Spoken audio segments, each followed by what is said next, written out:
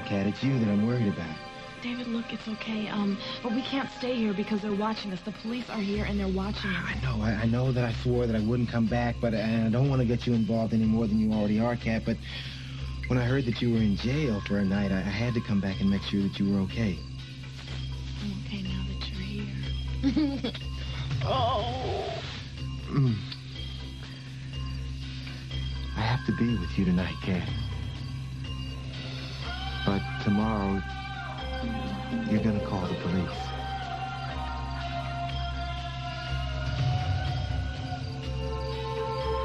This is great. This is great, Jilly. I'm gonna go in and grab something, then you can take me to David. No, wait, you've got company. But this is more important. No, Jilly. listen, this is the address of the boarding house. I'm staying in Kat's room. If you come by tomorrow morning, I'll take you to David. Julie, we cannot afford to wait. Nick, did you find something out? There's reason to believe that Macaulay West is a killer and that he's after David Grant. I'm telling you, Melinda, get the hell out of there right now. Who are you talking to?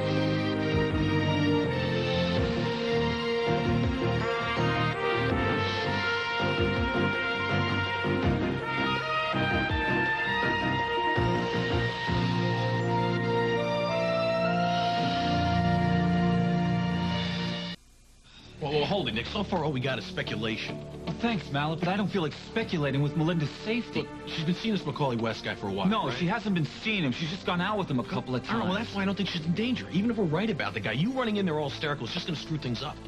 Well, let me put it to you this way, Mallet. If Harley was in there, what would you do? Honey, check this printout of the Davenport police file. I want to... I want to see if it's the same as the file copy that Nick's been using. What is the deal with this keyboard? It has all these goofy little symbols on it I'm not used to. Well, maybe journalists use a different system. Yeah, it's like Sanskrit. Well, what is this, DT? That's probably for dictionary. I think they're built into this. No, no, no, no, no, no. It's delete text. Honey, don't touch anything. You're not ready for the electronic age yet. When you learn how to set the timer on the microwave, I'll let you touch the computer, okay? Until then, you can stick to hard copy. You know, typewriters. Why is that flashing operator error? I don't know. I don't know. Would you check around and see if there's a manual for this thing I can do. You know, someday I'm going to learn how to program the clock in the microwave, and I'm going to get the last laugh. Yes, you will. I'll look in this other room. Hey. Come here.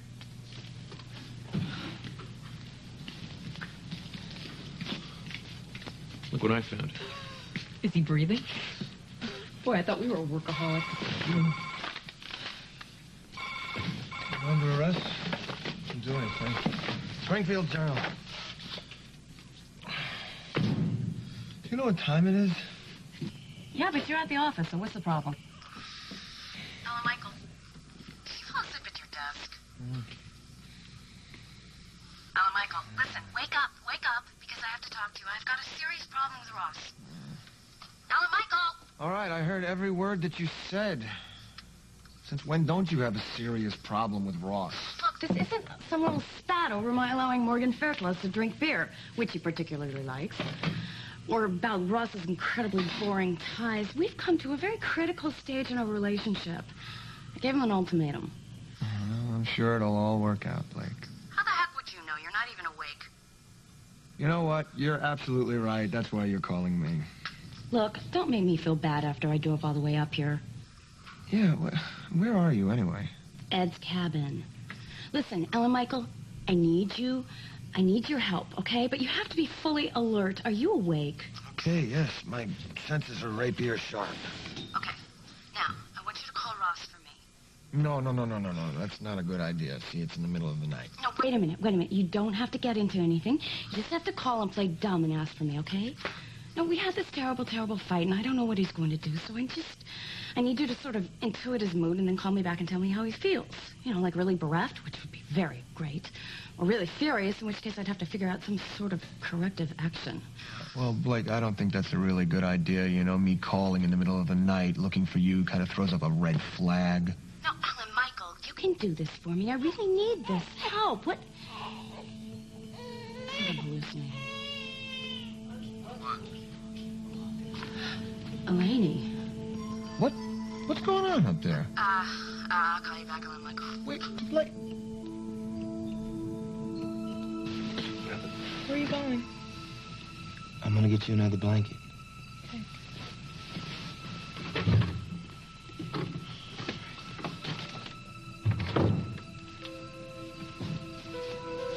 You're a little cold, ain't you, Cat? A little bit. Yeah. Thank you.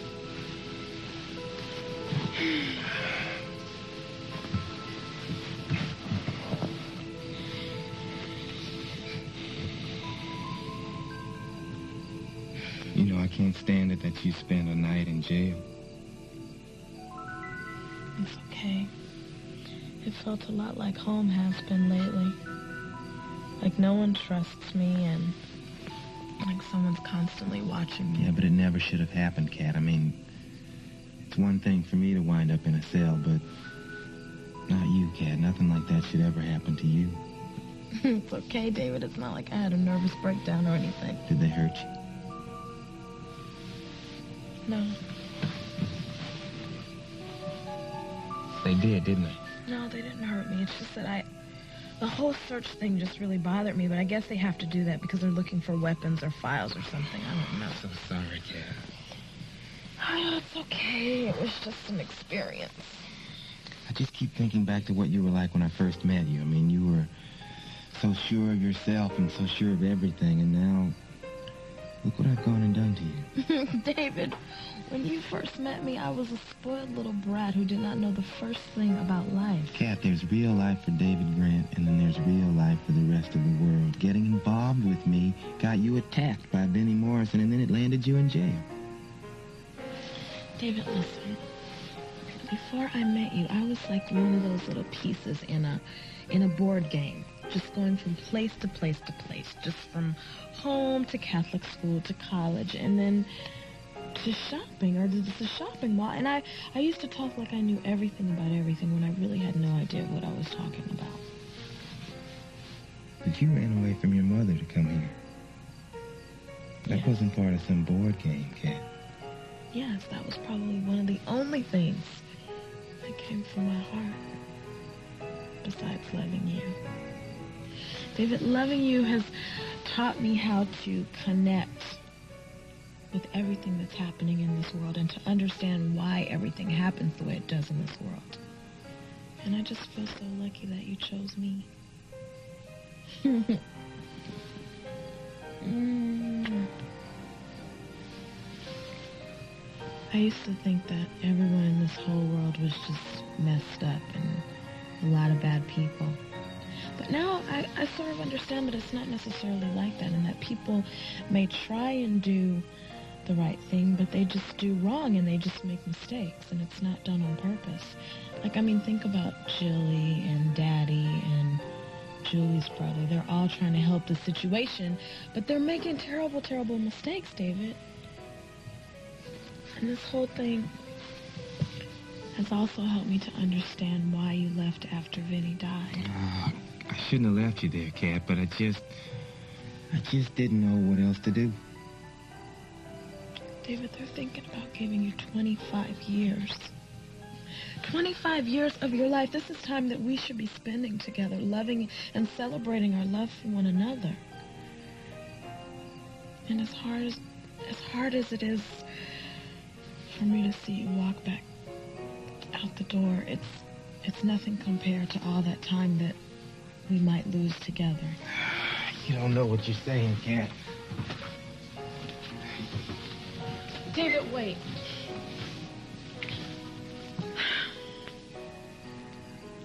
Listen, we we can we can work this out. I mean, we can do what we, we, we, what we thought about doing before. You can go away, you can find a nice little place, and wait for me, and then keep in touch with me, and then I'll come and I'll find you. But there's no sense in you rotting in jail for something that was an accident that wasn't even your fault. You can have a good, quiet, safe life without me, Kat. David, don't you understand that I cannot have a life without you? There's no way. It's not going to work. So don't try and push me away because I'm already in this. Even if you turned yourself into the police, they could still prosecute me as being an accessory to your crime. I don't think that's true, Kat. Yes, it is true. They know that I ran off with you. They know that we hid together.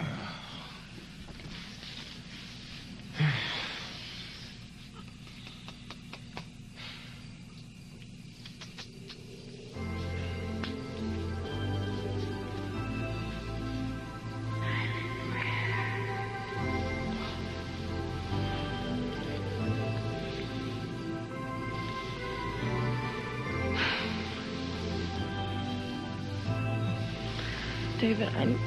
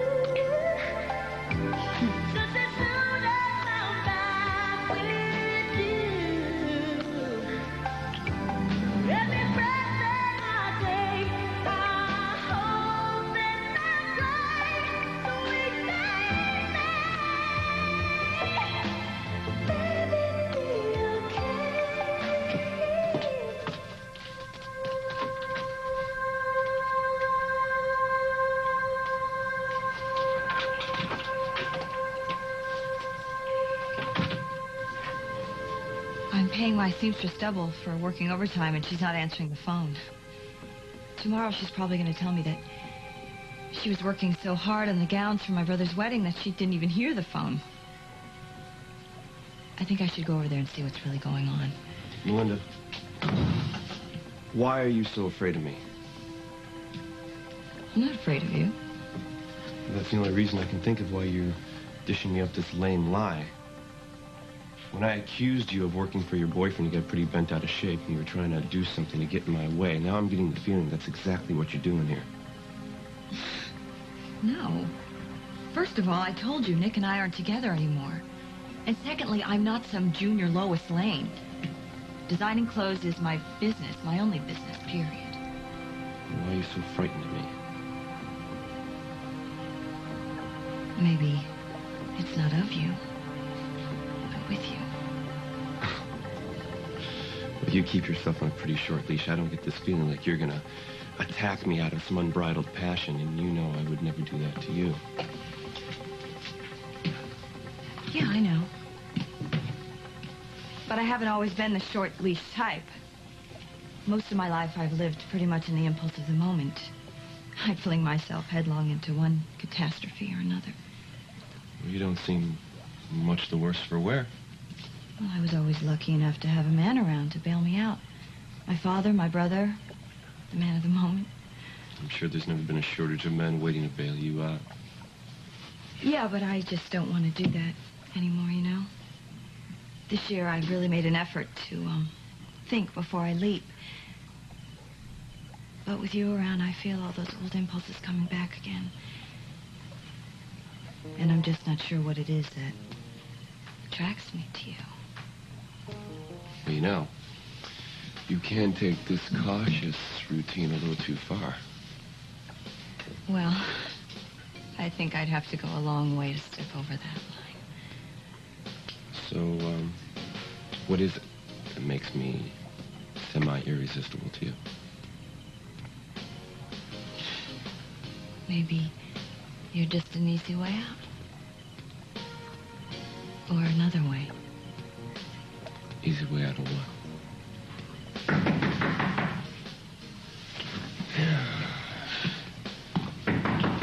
All right.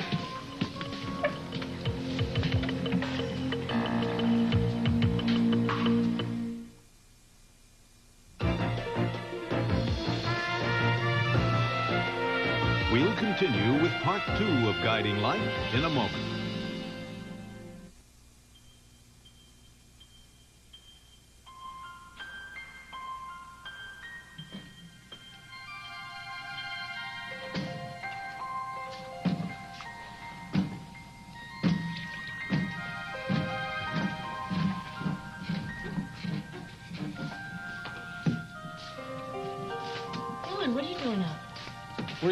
Tossing and turning for hours up there. Sorry. So was I, I guess. This is just too little time and too much to do before this wedding. Yeah.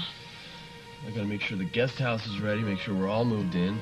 And I keep forgetting to call the travel agent to confirm our reservations. You still want to go to Paris for a honeymoon, don't you? Yeah, of course I do. Got us two tickets to the ballet. That was very sweet of you. Maybe I'll even like it. Look, why don't you let me help? I can pack up our rooms while you're at work tomorrow. How about that? No. I'll pay one of the crew guys to do it. No, Dylan. I am not useless. I'm not some kind of prima donna. I can help with this. I know that. Don't you think I know that? Yes. Look, I don't know what I know. I'm just... Ignore me. I'm just cranky. You're also younger than I am. What do you... Why are you saying that? Again? I don't know. I guess I just keep expecting you to feel the same way I do about this. But of course you don't. I mean, why should you? I'm the one who finally got old enough to know what I wanted and be able to afford it. I guess I've been pretty presumptuous, haven't I? What are you saying? I'm saying I'm not sure you want to marry me. Look, it's it's just like your keypad. It's just these two here are. Okay, okay. bit- Al Michael, who's the one who showed you how to use, uh, use a computer in the first place? Wait a minute. This looks like the old Davenport case. Doesn't it know that you guys are looking at his stuff? Would you please go back to sleep or or go write an editorial or something? Please. Well, just to make sure the journal gets an exclusive.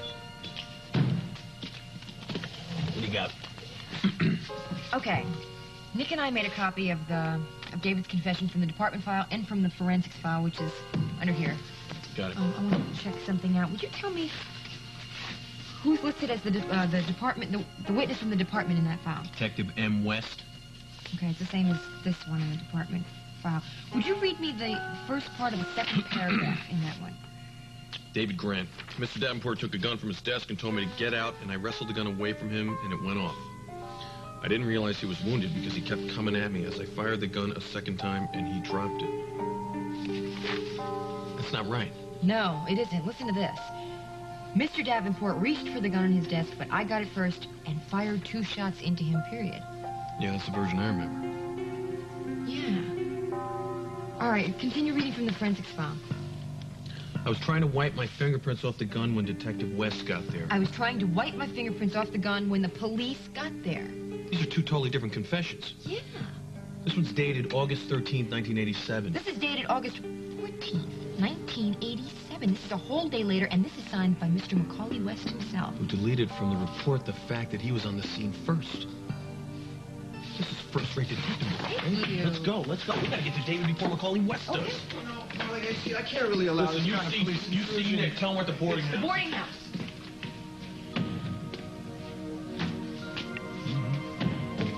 Don't understand, Delaney. What are you doing here? I don't think that is any of your concern, Blake. Well, I have plans with Ross here. Uh, We need our privacy. Well, I'm sorry. You should have called first, and then you would have learned that I was already here. So you and Ross can go find your privacy somewhere else. Well, as it happens, I called Ed Bauer before I came up here, and he gave me his permission. So you and Frank can just leave. Well, excuse me, but Ed Bauer told Frank and I that we could come here any time we wanted. Believe me, look, there's some coffee over there on the stove. Why don't you have some before you go? It's a long ride back and it's late. Oh. Well, why don't I just call Ed on the phone? He can settle this. No, I do not think you are going to call that man in the middle of the night, Blake. And besides, you and Ross have enough money. You can go and rent some beautiful fancy hotel room, but this is, I have no other place to go. Where's Frank? Did you and Frank have a fight? I do not think that is any of your business, Blake. Wow. The perfect couple. Newlyweds, no less. Boy, that's really scary. If this Mr. and Mrs. Totally Compatible can break up, what does this mean for me and Ross? Does it, does it hurt when she does that? No. Look, look, Ross is going to be here any minute with with a an apology and a, a bottle of champagne and a diamond engagement ring, or is he, he better. I'm not going to miss this opportunity by whizzing past him in the opposite direction. Well, Blake, I am not budging from here. Come on, Maddie, and I think it's time for you to go back to bed.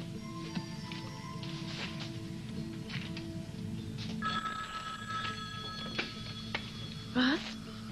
No, it's me. I just called to see if everything was okay up there. No, it's not. Yeah, you got that one right. What is she doing up there? Behaving like a Greek statue, incommunicative and immovable. Listen, Alan Michael, I know you're the last person I should enlist to do this, but you've got to come through for me tonight. Eleni's no, she's, she's just all bent out of shape. And I'm afraid that she's going to say something to Ross when he gets here. Blake, I, I don't think she's going to rat us out to, to... She's in a foul mood. Why's that? Trouble in paradise, I think. Frank's not here and she won't talk about it. Uh, well, it takes a lot for uh, Eleni to get that mad, and when she does, it does usually mean trouble. Well, she's made it to that point and past it, trust me. I'm just really frightened that when Ross comes in, she's gonna, I don't know, tell him what she found the last time she dropped by this place. Well, what do you want me to do? I want you to go find Frank and tell him to come and extract his wife. Blake, I can't do that. You know, my relationship with Frank is not the best. Well, who else am I going to call at this hour of the night? It was a mistake Call you back. Thank you, Alan Michael. Bye. Bye. I hate you. I hate you. Okay. Diner's closed.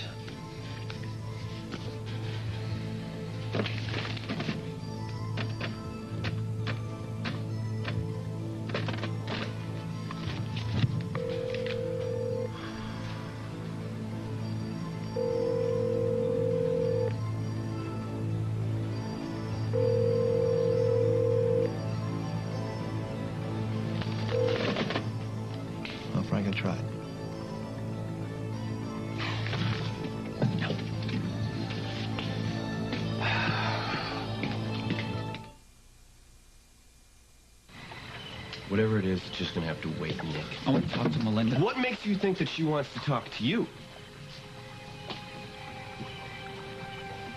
Or this is who you were calling on the phone before, huh? Yeah, that's right. But it was only because she was afraid. She felt that you were getting a little too pushy. That's not true. Melinda, I don't understand why you're trying to protect this guy's feelings.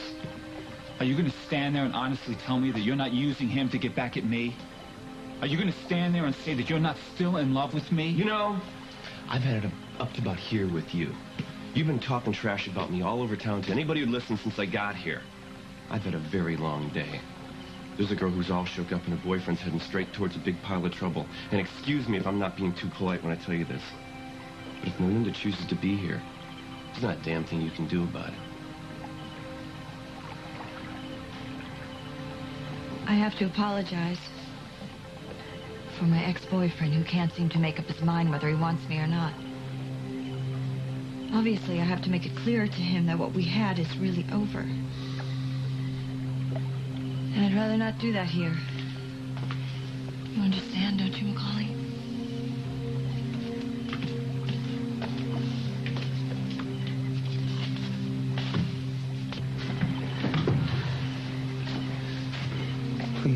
That that was an act.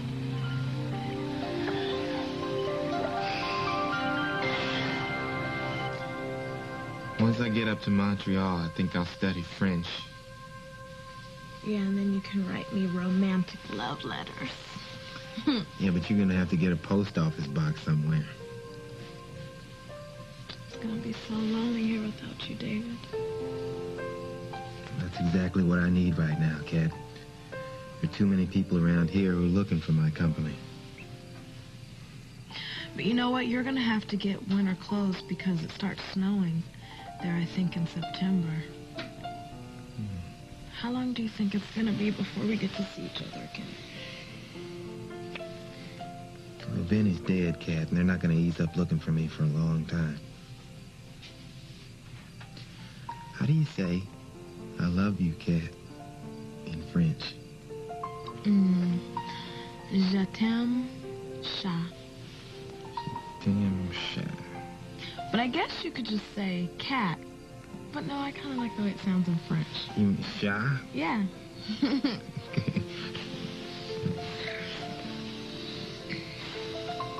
How are you going to get to the airport? Bridget's bringing me a rental car tomorrow. She has been such a wonderful friend. Anything that we've needed, she's been right there. And she hasn't even thought about how much trouble she could get herself into.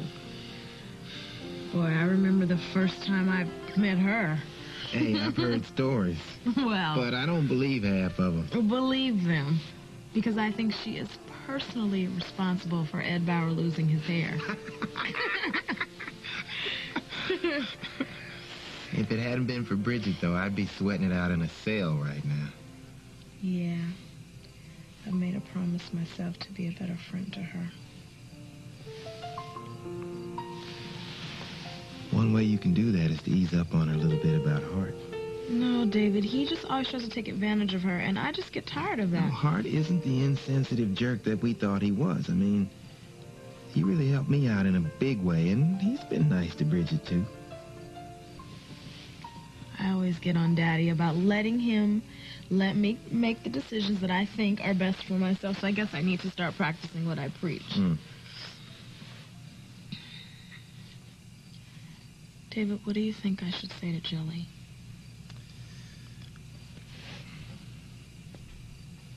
I don't know.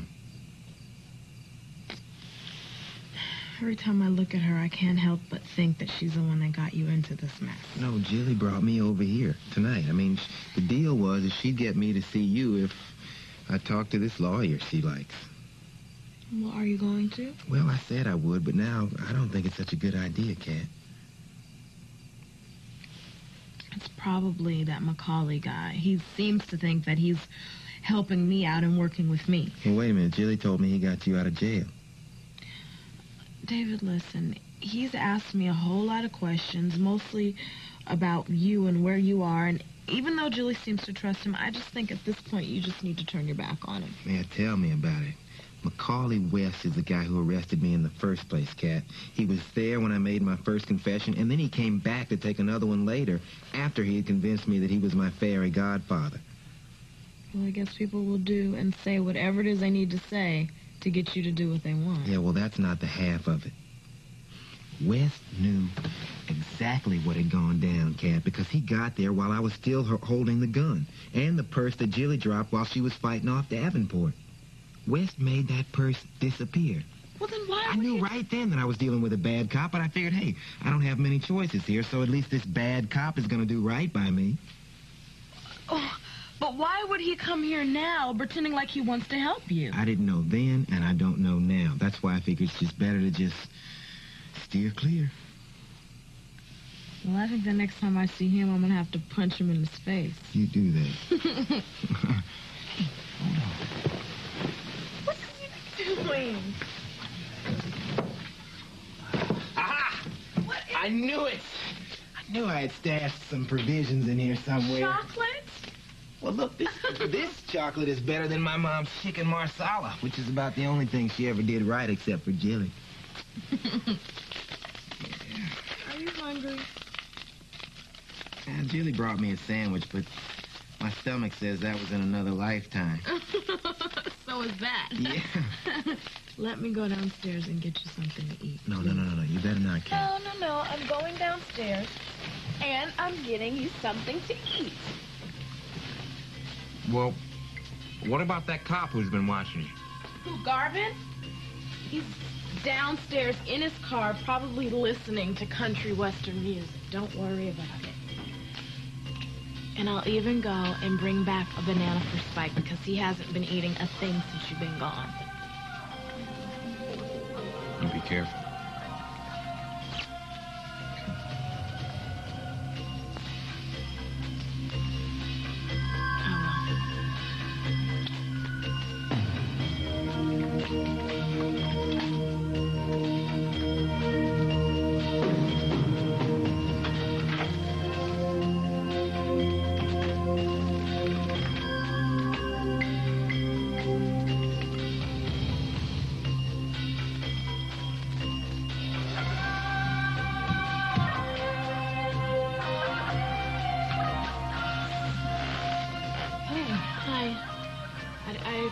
Figured everybody was asleep. It's so late. Um. Well, listen, I'm just gonna run inside and get something to eat. I am starving.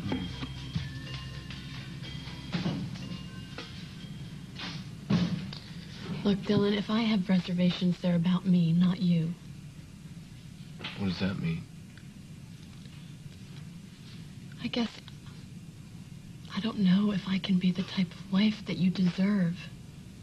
I thought I could, but then I see the doubt in everybody's eyes. Your sisters, Bridget's, a lot of people's, and I start to think maybe they're right, that you're too good for me. Julie, don't you ever think that? Everything I've become this past year is because of you. I'm sorry if I scared you when I said you're young, but you are, and that's okay. I mean, that's fine. It's how does anybody who ever got married know what the other person's going to be like in 10 or 20 years? I guess all you can do is just promise to love that person, no matter how they turn out.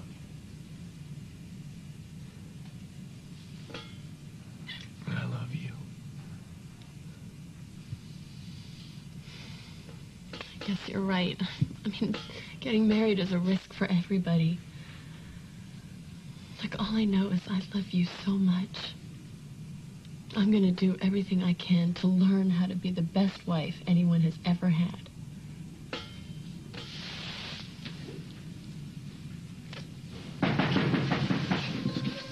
Somebody forget their key?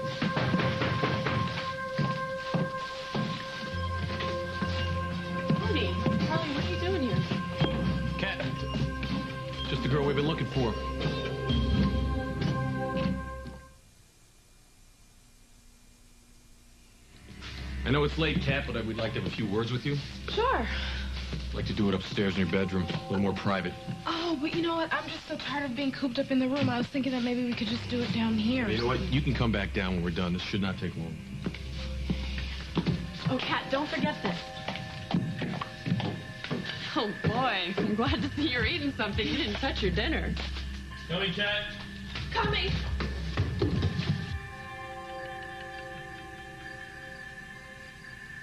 Surprise Kat when she comes in, eh, Spikey? Um, I don't mind you guys coming by, but it's really late and I couldn't sleep anyway. And I know you cops, you have crazy schedules, so, you know. Gonna wake up the whole boarding house. Yeah. I don't mind that you came by.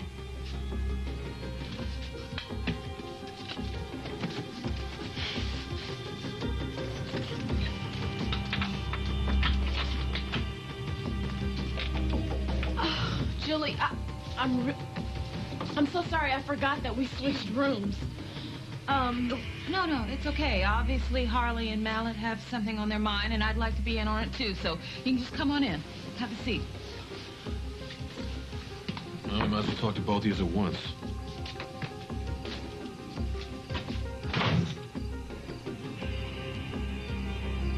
What do I do now, Spike?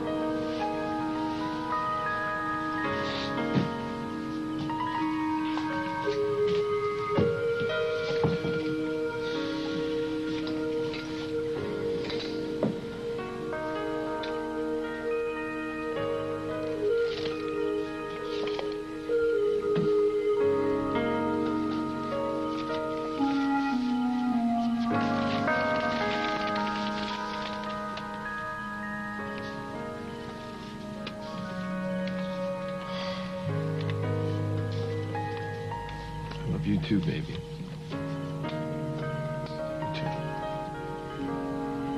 So there's no doubt that there was a third bullet and that West was on the scene. Hmm. You don't sound convinced. No, it's not that. I just love seeing you like this. Your adrenaline all pumped up about some cause. Especially when I'm not the target.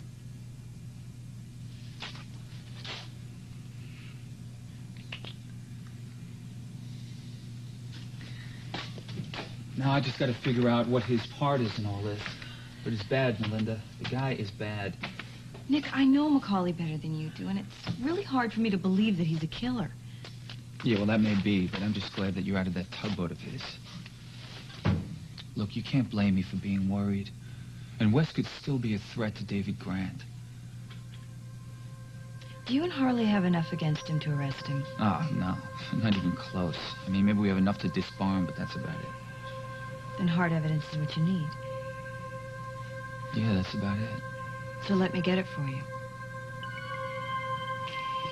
There were two confessions that were taken from David. One was dated the 13th of August, and one was dated the 14th of August. They were substantially different in content.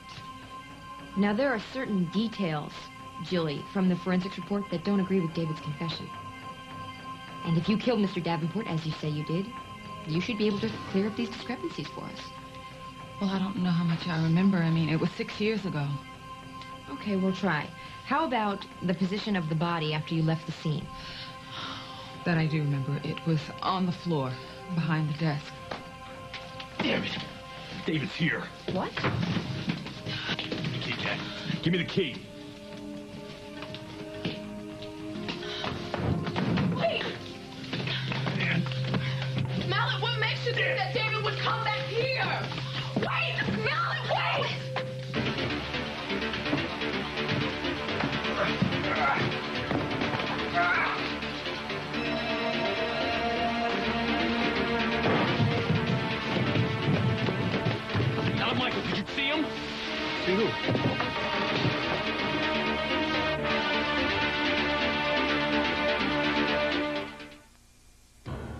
Blink and don't look away.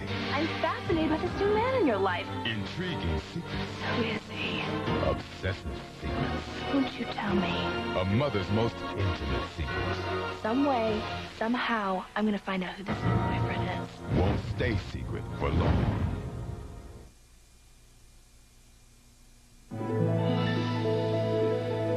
This has been Guiding Light.